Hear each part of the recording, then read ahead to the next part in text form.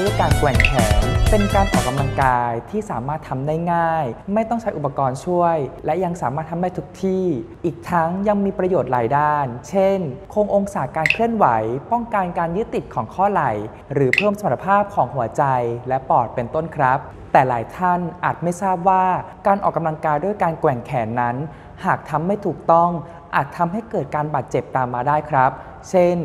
กล้ามเนื้ออักเสบ หรือที่พบได้บ่อยเลยก็คือเอ็นบริเวณหัวไหล่อักเสบครับ ดังนั้นวันนี้ศูนย์กายภาพบำบัดมหาวิทยาลัยมหิดล จึงมีสาระความรู้เกี่ยวกับการแกว่งแขนอย่างไร ให้ได้ประสิทธิภาพ และไม่บาดเจ็บมาฝากทุกคนกันครับ โดยในวันนี้เราจะมาแนะนำการออกกำลังกายด้วยการแกว่งแขน เพื่อคงองศาการเคลื่อนไหว ป้องกันการยึดติดของข้อไหล่ และเพื่อเพิ่มประสิทธิภาพ หรือสมรรถภาพของหัวใจและปอดกันครับ สำหรับการออกกำลังกายด้วยการแกว่งแขน เพื่อคงองศาการเคลื่อนไหว ป้องกันการยึดติดของข้อไหล่ อันดับแรก เราควรต้องทราบทิศทางที่ข้อไหล่สามารถเคลื่อนไปได้ โดยข้อไหล่ของเราสามารถเคลื่อนไปได้ใน 6 ทิศทางครับ ได้แก่ 1. การยกแขนขึ้นไปทางด้านหน้า 2. การเหยียดแขนไปทางด้านหลัง 3. การกางแขน 4. การขุบแขน 5. การหมุนแขนเข้า และ 6. การหมุนแขนออกครับ โดยการยกแขนไปทางด้านหน้า เราจะสามารถเคลื่อนไปได้ประมาณ 170ถึง180 องศา การเหยียดแขนไปทางด้านหลัง สามารถเคลื่อนไปได้ประมาณ 50ถึง60 องศา การกางแขนสามารถเคลื่อนไปได้ประมาณ 160ถึง180 องศา การหุบแขนสามารถเคลื่อนไปได้ประมาณ 50ถึง75 องศา การหมุนแขนเข้าสามารถเคลื่อนไปได้ประมาณ 60 ถึง 100 องศา และการหมุนแขนออกสามารถเคลื่อนไปได้ประมาณ 80 ถึง 90 องศาครับ เมื่อเราทราบองศาการเคลื่อนไหวในแต่ละทิศของข้อไหล่แล้ว เราไปชมท่าออกกำลังกายกันครับ ท่าที่ 1 เป็นท่าแกว่งแขนเพื่อคงองศาการเคลื่อนไหวของข้อไหล่ในทิศยกแขนไปทางด้านหน้า และเหยียดแขนไปทางด้านหลัง เริ่มจากท่ายืนหรือนั่ง จากนั้นค่อยๆยยกแขนขึ้นไปทางด้านหน้า จนสุดช่วงการเคลื่อนไหว จากนั้นค่อยๆวางแขนลง และเหยียดแขนไปทางด้านหลัง จนสุดช่วงการเคลื่อนไหวเท่าที่สามารถทำได้ โดยไม่มีอาการเจ็บ จากนั้นวางแขนกลับมาข้างลำตัวทำซ้ำช้าๆ 10 ครั้งต่อชุด 3-5 ชุด ท่าที่ 2 เป็นท่าแกว่งแขน เพื่อคงองศาการเคลื่อนไหวของข้อไหล่ ในทิศกลางแขนและการหุบแขน เริ่มจากท่ายืนหรือนั่ง จากนั้นค่อยๆกางแขนขึ้นไปทางด้านข้าง จนสุดช่วงการเคลื่อนไหว จากนั้นค่อยๆ วางแขนลง และวาดแขนไขว้ไปทางด้านหน้า จนสุดช่วงการเคลื่อนไหว เท่าที่สามารถทำได้ โดยไม่มีอาการเจ็บ จากนั้นวางแขนกลับมาข้างลำตัวทำช้าๆทำซ้ำ10ครั้งต่อชุด 3-5 ชุด ท่าที่ 3 เป็นท่าแกว่งแขนเพื่อคงองศาการเคลื่อนไหวของข้อไหล่ ในทิศหมุนแขนเข้าและหมุนแขนออก เริ่มจากท่ายืนหรือนั่ง แขนวางข้างลำตัว จากนั้นงอศอก 90 องศา ค่อยๆ หมุนแขนออกด้านนอกจนสุดช่วงการเคลื่อนไหว จากนั้นค่อยๆ หมุนแขนกลับเข้าด้านใน จนสุดช่วงการเคลื่อนไหว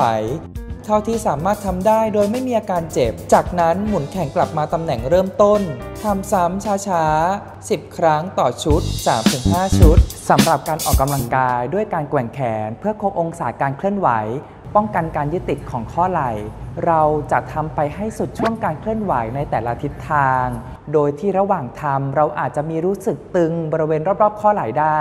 แต่ไม่ควรรู้สึกเจ็บนะครับ หากมีอาการเจ็บให้ผ่อนแขนลงเล็กน้อย และระหว่างเคลื่อนไหวเราควรทำช้าๆ เพื่อไม่ให้เกิดการกระชากต่อเนื้อเยื่อบริเวณข้อไหล่ครับสำหรับการออกกำลังกายด้วยการแกว่งแขนเพื่อเพิ่มสมรรถภาพของหัวใจและปอด ยังสามารถช่วยลดปัจจัยเสี่ยงต่อการเกิดโรคหัวใจและหลอดเลือด ภาวะความดันโลหิตสูง โรคเบาหวาน ป้องกันภาวะน้ำหนักเกิน ภาวะไขมันในเลือดสูงเป็นต้นครับ โดยจะเป็นการกว่งแขนในช่วงสั้นๆ เป็นจังหวะต่อเนื่องกัน โดยวันนี้เรามีการออกกำลังกายด้วยการกว่งแขน เพื่อเพิ่มสมรรถภาพของหัวใจและปอด มาฝากทุกท่าน 2 ท่าครับ ท่าที่ 1 เป็นท่าแกว่งแขนเพื่อเพิ่มสมรรถภาพของหัวใจและปอดในท่ายืน เริ่มจากท่ายืน แขนวางข้างลำตัว จากนั้นงอศอกขวาขึ้น เหยียดแขนซ้ายไปทางด้านหลัง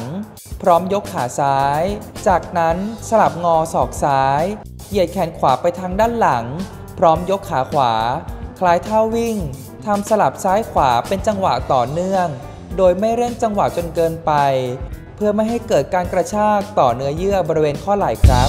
ท่าที่ 2 เป็นท่าแกว่งแขนเพื่อเพิ่มสมรรถภาพของหัวใจและปอดในท่านั่ง หากท่านใดยืนได้ไม่มั่นคง สามารถปรับเป็นท่านั่งได้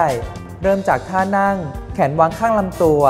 จากนั้นงอศอกขวาขึ้น เหยียดแขนซ้ายไปทางด้านหลัง พร้อมยกขาซ้าย จากนั้นสลับงอศอกซ้าย เหยียดแขนขวาไปทางด้านหลัง พร้อมยกขาขวา คลายท่าวิ่งทำสลับซ้ายขวาเป็นจังหวะต่อเนื่อง โดยไม่เร่งจังหวะจนเกินไป เพื่อไม่ให้เกิดการกระชากต่อเนื้อเยื่อบริเวณข้อไหล่ครับ โดยองค์การอนามัยโลกแนะนำว่า เราควรมีกิจกรรมทางกายระดับปานกลาง คือขณะออกกำลังกาย มีการหายใจเร็วขึ้น มีเหงื่อซึมเล็กน้อย เหนื่อยแต่ยังไม่หอบ และยังสามารถพูดเป็นประโยคสั้นๆ ได้ อย่างน้อย 150 นาทีต่อสัปดาห์ โดยเราอาจแบ่งทำเป็นวันละ 30 นาทีจำนวน 5 วัน หรือหากท่านใดที่ไม่สามารถทำติดต่อกัน 30 นาทีได้อาจแบ่งทำให้ได้อย่างน้อย 10 นาที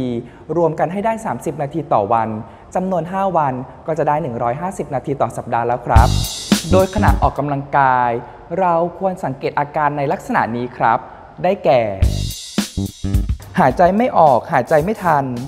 หัวใจเต้นผิดปกติ ใจสั่น เจ็บแน่นหน้าอก หน้ามืด เวียนศีรษะ ตัวเย็น